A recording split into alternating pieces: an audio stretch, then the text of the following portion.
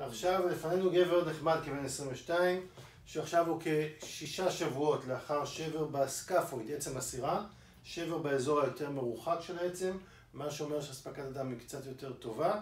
שאלו אותי כאן לגבי נושא ההחלמה של השבר, האצה של החלמה בעקבות שימוש בגבס קל.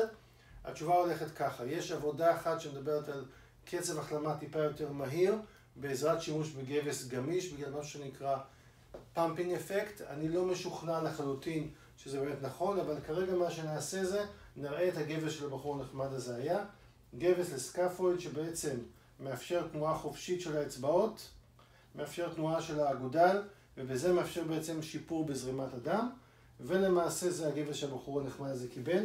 נוריד את הגבס, יהיה קצת רעש בגלל המסור, ותכף נראה איך הוא מיד אחרי שנוריד את הגבס, ונסביר כמה דברים חשובים לגבי החלמה ופציעות לאחר גבס. אז אני מתנצל על הרעש, זה רעש חזק בסרטון.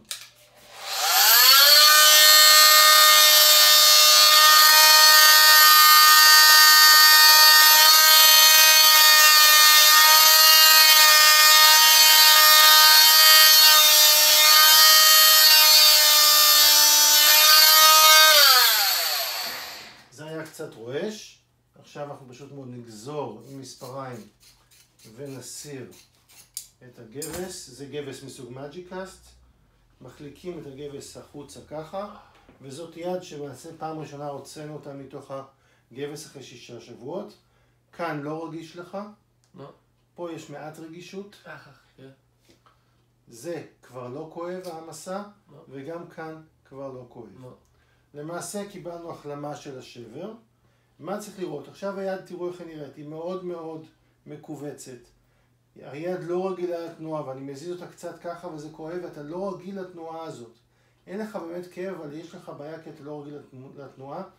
איבדת פרופריוספציה, תפיסה של היד במרחב. וזה אומר שאם אתה תניח את היד הצידה עכשיו, לא תדע בדיוק איפה היא נמצאת, והסיכון שלך לקבל כאן חבלה נוספת, שבר נוסף וכיוצא בזה, הוא מאוד גבוה. ההמלצה שלי בדרך כלל אחרי שבר, לגשת למים, להפעיל את היד במים, אם זה בבריכה, אם זה במקלחת וכיוצא בזה. המלצה ראשונה. המלצה שנייה, פעילות ספורטיבית, להתחיל מאוד מאוד לאט, פרק זמן של כשבועיים עד שלושה, עד חזרה לפעילות מלאה. כדורסל אתה אוהב לעשות בסדר, אם אתה עומד בשער בכדורגל, אפילו קצת יותר. להתחיל מדברים קטנים, ורק בהמשך לעשות, ומעבר לזה, החלמה מהירה. בהצלחה.